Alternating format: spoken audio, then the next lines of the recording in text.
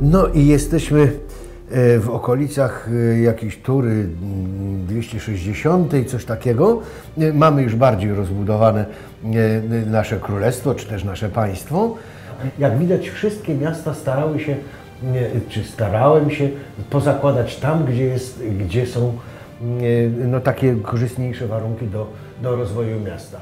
Ale chciałbym, żebyśmy się, Panie Mateuszu, za Pana pomocą zajęli e, czymś, co jest niezwykle istotną częścią składową e, tej gry, mianowicie czarami.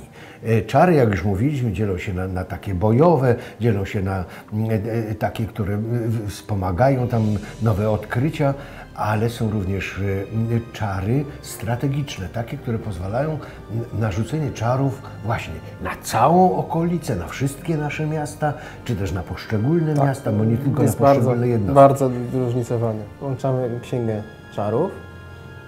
Mm, Mamy roz, rozmaite. Mamy innymi magicznego ducha. To jest akurat czar niezwykle przydatny na samym początku gry, ponieważ to jest jednostka, która wymaga mm, tylko jeden many do, Mhm. do utrzymania, ma duży zasięg ruchu i możesz poruszać się po każdym terenie. Jednostka zwiadowca. Tak, to tak jest dokładnie jednostka zwiadowcza. Tutaj mamy różne czary, mm, które mm, dają premię jednostkom, na przykład błogosławienie broni zwiększa, mm, a kamienna skóra zwiększa kasę pancerza, czyli O i tu znowu coś mamy. KP plus 3.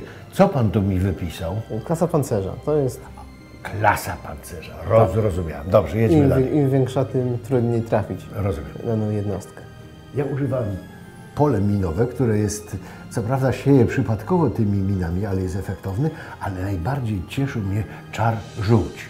Wie pan, co się z tymi jednostkami działo, na które rzuciliśmy żółć, no, to było bardzo ładnie graficznie No rozwiązane. to możemy rzucić, rzuć. Niech pan może spróbuje. Tego czaru jeszcze.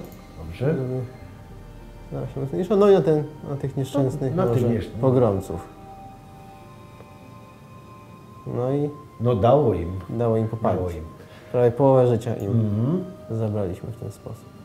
Mamy też czary ofensywne, czysto ofensywne, także na, na mapie świata. Fala mrozu zadaje wszystkim, wszystkim jednostkom w, w armii 4, od 4 do 24 obrażeń. Również naszym.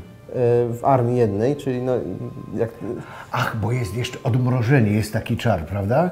Czy, tak. czy taki, który rzuca na całe Tak, tak, pole, tak, tak. łącznie z naszymi jednostkami. Tak, Przejechałem się w jednej bitwie na takim właśnie. Zostawmy tę grę, co można powiedzieć, e, gra jest bardzo interesująca. Rzeczywiście jest e, dobrze wymyślona i wywołuje u gracza coś, co ja nazywam chorobą jeszcze jedna tura. To, to wszyscy ją e, znamy, znamy to określenie, ale warto o tym powiedzieć, że tam 11 czy 12 w nocy, tu do szkoły czy do pracy, a to, a to jeszcze jedną turę, jeszcze, jedną. jedną turę. Tak, ta gra ma taką cechę, w związku z tym właśnie e, o to, o to nam chodziło, żeby, No to żeby to wywołać. to nie, grafika jest wystarczająca. Powiedzmy, nie jest to grafika powalająca, ale ona jest wystarczająca, to znaczy czytelna, wiem co jest co, y, y, y, wymiar jest taki ty- 3D, no w porządku, tym bardziej, że przecież nie fajerwerki graficzne są tutaj istotne, tylko sam pomysł i myśl. A myśl jest dobra, bo jeśli powiemy to, co powiedzieliśmy na samym początku, że to bardzo podobne do, czy też no nie wiem, krewnych Heroesu, prawda, czy cywilizacji, nie, czy Master of Magic. To, to jest, te trzy gry dają taką gwarancję, że to jest dobry,